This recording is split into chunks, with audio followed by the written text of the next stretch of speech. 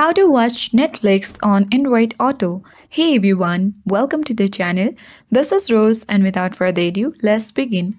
First of all, you need to update Android Auto.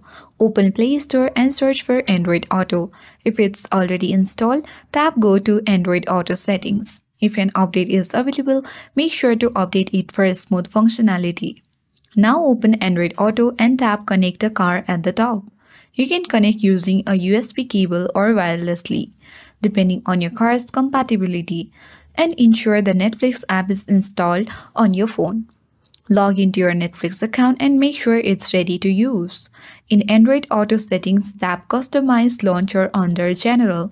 Scroll through the list of compatible apps and enable Netflix. Once connected, you can launch Netflix directly from Android Auto and enjoy your favorite shows. That's it. I hope this guide was helpful. If it was, then do like, share, comment and don't forget to subscribe. Thank you for watching and I'll see you in the next video.